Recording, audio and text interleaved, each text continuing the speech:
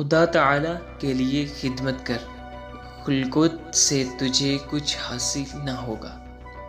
करीम लोगों के मुतल्लक उनकी बदगुमानी होती है, जिनके अपने अफ़ाल शैतान और दरिंदों जैसे होते हैं। जब तुम बीमार होते हो तो अपने गुनाहों से तोबा इस्तगफार करते हो, जो उस बात का सबूत है कि तेरी बीमारी ने तुझे बेदार करके बाहोश बना दिया है।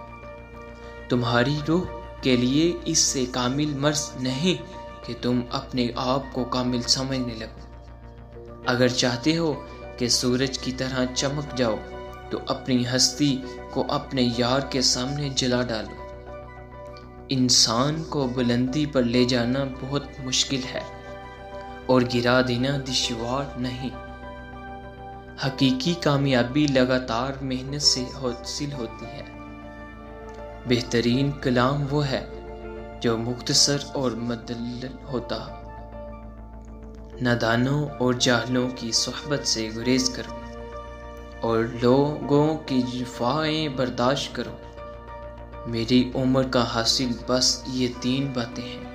इन्हें गौर से सुनो। अव्वल, मैं खाम हो था। दोम फिर पुख्ता हो गया। सोम फिर जल बुझा मोहब्बत मर्ज से सेहत बख्शती है और कहर रहमत में बदल जाता है।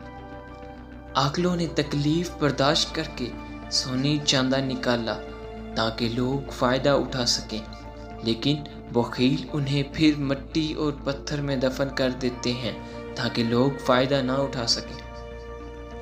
कलमा तयबा का विरद करने से रूहानियत का इल्म बुलंद होता है। और इस कलमे का विरद करने वाला बुलंदियों की तरफ़ गामजन हो जाता है। शम्मा बनने से, बनने के दावा से परवाना बन जाना ज़्यादा बास फ़ख्र है। शहवत के सांप को शुरू ही में मार डालो, वरना ये सांप एक दिन अस्ता बन जाएगा।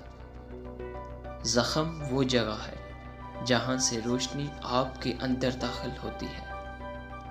वली वो शख्स है जो अल्लाह की ज़ात और सिफात को पहचानने हमेशा इतात खुदाबंदी करे, महरमात से बचे और लज्जतों और शहतों से में मशगूल ना हो, निजास्तों से दूर रहे, मोहब्बतों, मजनू और पागल ना हो, अपनी शर्मगाह और बदन को बरहना ना रखता हो।